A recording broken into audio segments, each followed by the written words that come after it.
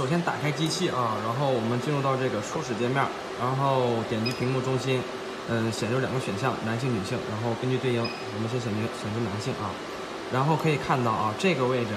是能量，能量密度，然后呢，这个选项呢是这个脉宽啊，现在是四十微秒，然后现在这个位置是十二焦，然后这个是频率啊，这个选项是频率。然后制冷这个位置啊，进入的话应该是两个那个信号，然后我们给它点到最大，这个是制冷。然后点击准备，点击准备的话，手具，手具的话现在就会制冷。等它降至到零度左右，然后我们就可以开始操作。这个位置是计数器清零，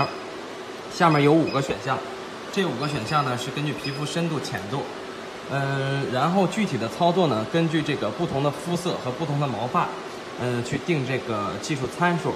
嗯，像男性的话，皮肤是正常黄棕色的情况下，嗯，脱纯毛，嗯，我们应该建议是在三十，啊，三十啊，我们调脉宽能量会根据自动跳定啊，匹匹配这个适合的这个啊，根据脉宽匹配适合的能量，然后频率的话可以适当的降低，因为这个唇部，嗯，这个皮肤比较薄弱吧，这么说，然后呢，再拖到这个，再讲到身体的位置。嗯，身体的位置的话，咱们先说手臂。手臂的话，可以像男性的话，可以从九十或者八十这个位置开始。频率的话，我们还是逐一上调，不要调到太高。如果说是咱们这个能量越大，嗯，频率会越低。这样的话，会对皮肤进行一个保护，对机器进行的一个保护。然后呢，下面我们说腿毛。腿毛的话，我们可以能量调到八十九十啊，逐一上调，也是同样根据这个。嗯，皮肤的这个深度啊，现在强调一点，嗯，针对于现在这个八零八这项技术的话，嗯，皮肤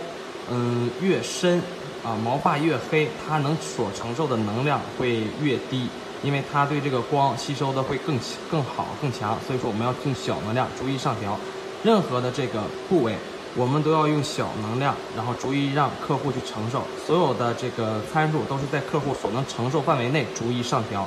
嗯，避免烫伤。然后呢，在操作的时候，操作时候，光头一定要贴紧，一定要贴紧皮肤，贴紧皮肤，嗯，避免烫伤。然后像这些比较薄弱的腋下，嗯，能量的话，我们也是逐一上调，我们也可以从三十开始往上调。然后像手臂、大腿，嗯，这些位置可以说能量在七十八十，但是这是针对于皮肤比较发深的，但是建议。啊，建议我们在对客户操作的时候，尽量用低频率，嗯，小脉宽，去慢慢的让客户去感受，所有的操作都要让客户感受到有轻微的这种热感传递，这是最好的效果。如果说他能承受大能量，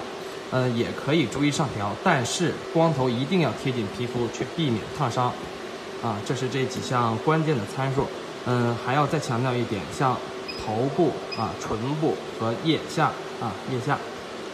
腋下，呃，一定要用小能量，啊，建议从二十，啊，女女性的话从二十以上开始逐一上调，根据客户的这个舒适度、适应度，呃，男性的话可以二十五、三十这样，啊，同样我们一定要看准客户的这个肤色，啊，肤色是很关键的，他的肤色和毛发的这个深度，